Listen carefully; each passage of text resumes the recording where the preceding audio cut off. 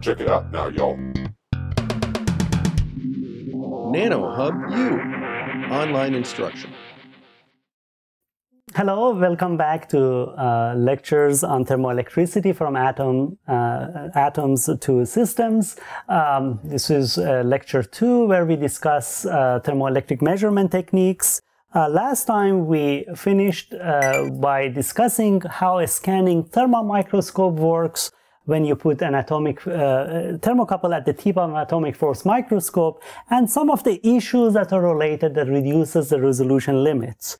Um, here we want to sh show that this is not an inherent problem. There are examples where ultra-high vacuum scanning thermoelectric microscopy has been demonstrated where really atomic scale temperature and uh, thermoelectric measurement have been demonstrated. In this case, um, the tip is um, simple, so you can make it extremely sharp. But the way it works is that the tip is uh, at room temperature and you have a heated uh, sample. As a result, when tip touch the sample, there is a temperature gradient created near the tip, and that temperature gradient uh, creates a thermoelectric voltage that we want to measure. Of course, you need to monitor the position of the tip, and that you do it with a preamplifier. Um, but um, as soon as you know that you're in the right position, then you can switch and measure what is the voltage that is uh, generated uh, due to this temperature difference. Um, uh, this type of uh, uh, measurement system have shown to basically give a voltage um, originally, uh, people thought that the voltage is basically um, uh, related to the local Seebeck coefficient with some sort of a spatial distribution. And that's something that I want to emphasize later on that's not uh, strictly correct and how we can do better than this. So with these measurements, uh, people have characterized, this is an example of epitaxially grown uh, p gallium arsenide, n gallium arsenide, and p gallium arsenide. So you have a p-n junction with good concentration of electrons and holes on the two sides. And here is the scanning region. And uh, here are the measured thermoelectric voltage in millivolt.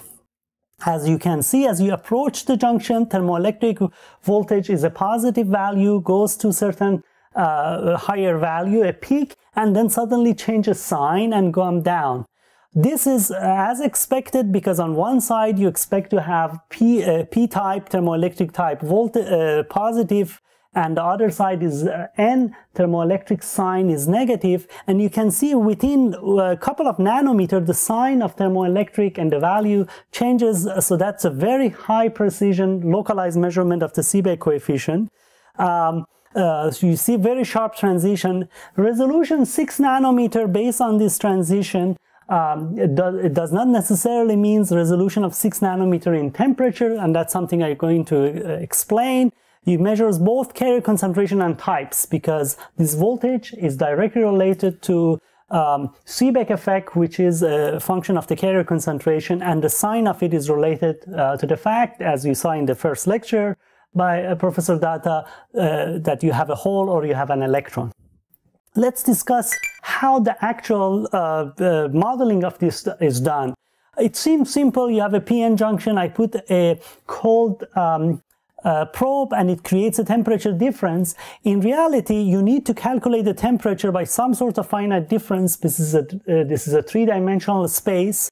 Uh, you need to solve Poisson equation uh, because uh, near this region there is um, carrier uh, electron and hole recombined and there is a depletion region. Distributed thermoelectric potential and resistive network need to be included in this model and the whole thing is solved using Kirchhoff's current and voltage law. So it seems complicated, it's given in this article, but at the end the results um, uh, can ex be explained relatively easily. What is the challenge? Here is the position in nanometer near the junction and what is the thermoelectric voltage theoretically and what is the grid resistance? Basically at each location, if you put a tiny resistor, what is the value of that resistor? One thing to notice is, of course, on one side you have a thermoelectric voltage negative, the other one thermoelectric voltage positive. This is due to the electrons, this is due to the holes, so you have a p-n junction. But near the depletion, near the junction, near in the depletion region, the electrical uh, resistance or conductivity of material changes by many order of magnitude, from 10 to the 5 to 10 to the 15. That 10 order of magnitude change has huge implications. Basically, at any point of the material, Seebeck voltage uh, that you measure by the solid line uh, or you see by the solid line is like a tiny battery. Next to it, you have another tiny battery. Each one of them have a tiny resistance associated with them. When you put batteries in parallel, the total voltage measured is not only measures of the uh, battery voltages, but also are given by the resistances of the network.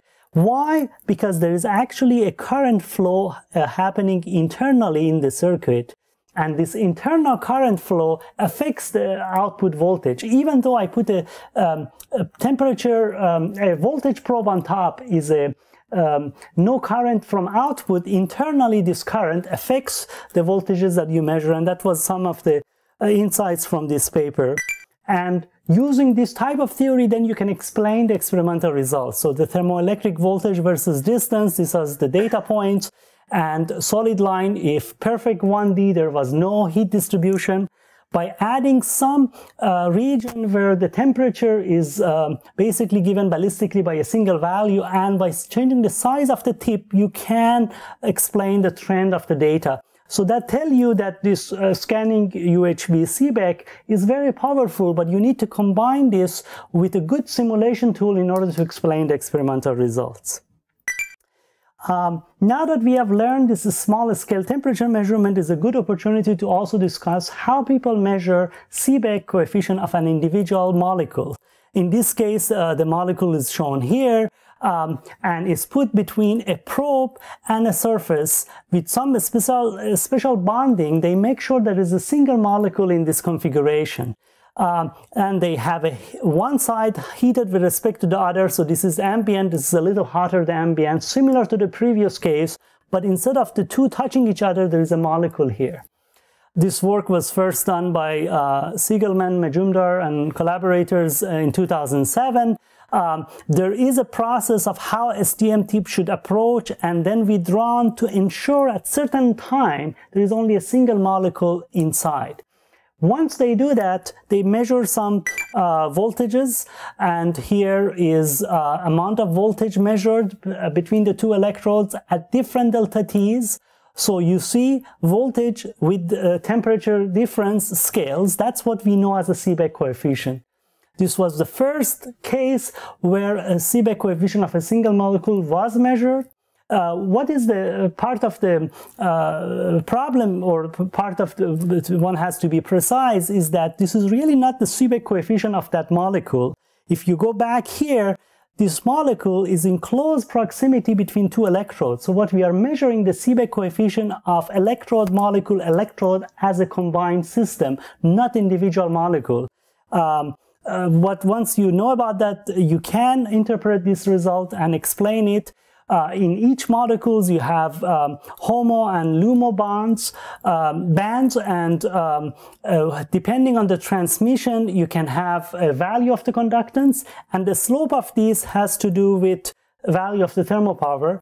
And basically, these measurements um, verified what they anticipated uh, uh, to see for this molecule. What is interesting is the theory that explains the thermoelectric voltage of a single molecule was uh, described um, a couple of years earlier than this measurement by Professor Datta and Paulsson using uh, this uh, Green's function approach, um, Landauer approach that you saw in uh, week one um, as well. So basically, uh, what matters when you calculate current uh, between two electrodes is the difference in the Fermi energy and um, in the transmission function, if you consider the energy dependence of it, uh, from that you can calculate the Seebeck coefficient. So some of the things you learned on atomic scale uh, thermoelectrics um, uh, here kind of was uh, verified for the first time experimentally.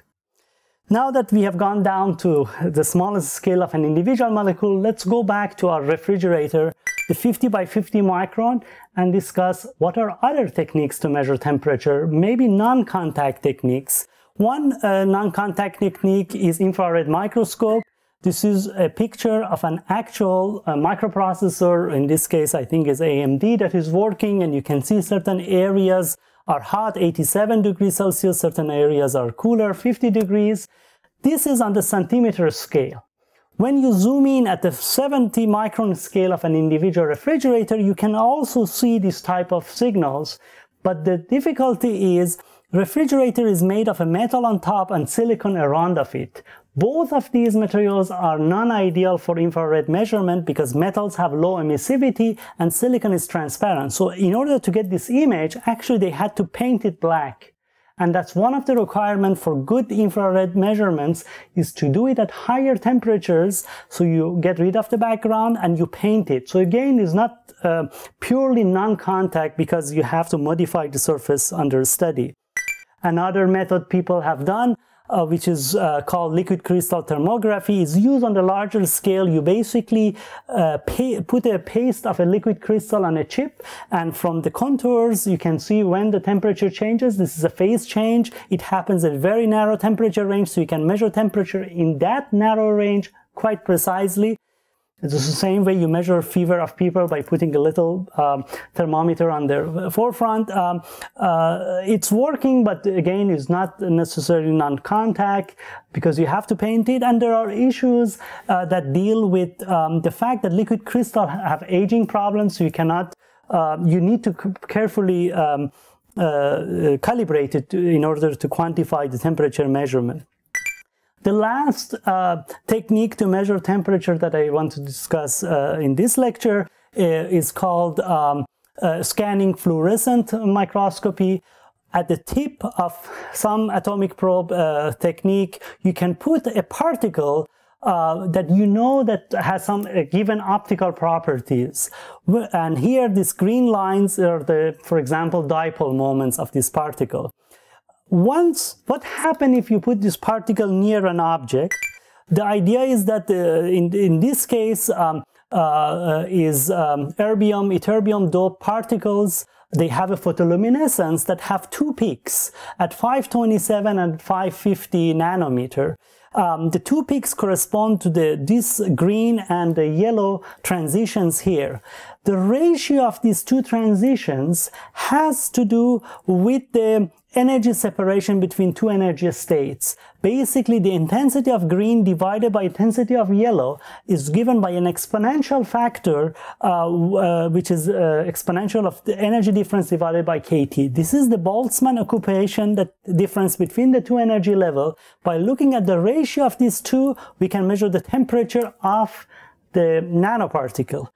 If we put the nanoparticle now next to a heater, in this case a heater is shown in a polysilicon on a silicon chip, you can measure the temperature. So this is an example of temperature measurement. Um, it was done uh, in a paper in 2005. Again, the thermometer is the particle uh, you can of course always measure some temperature distribution but the first question you should ask is how accurate is the value of this temperature because if this nanoparticle that I put close to this junction, depending of how it touches the junction or how close it is, the values extracted uh, could change. So this is a good uh, qualitative way to see temperature distribution, but to do it quantitatively uh, is very difficult. So here, um, let me summarize what you learned in, uh, in today's lecture. Uh, what we started is how you measure temperature at the smallest scale using uh, ultra high vacuum scanning uh, uh um, uh, measurement. we saw how it can be applied to measuring um, coefficient of individual molecules. Some of the uh, issues to remember is how to analyze the data. If you are measuring Seebeck on a surface, where the Seebeck is different at different locations, you need to consider some of the modeling. The raw data it doesn't give you the pure values. Um, then we moved on some of the optical technique, how to measure uh, temperature. We started with infrared microscopy, with uh, scanning fluorescence microscopy and liquid crystal thermography. uh, these are various methods where the change in color and the change amount of light coming out can be used to probe the temperature. Some of them are not necessarily um, non-contact because you need to bring some object uh, whose properties, whose optical properties changes with light next to the object uh, that you're measuring, but still they're a good way um, to get a, a, good full image temperature distribution. Uh, what we will do in next lecture is we go to thermoreflectance imaging, where the change in surface reflection coefficient with temperature is used as a thermometer. And you can see that this is a way to get the highest spatial resolution with simultaneously very fast temperature measurement down to 800 picosecond. And uh, look forward to see you at the next lecture.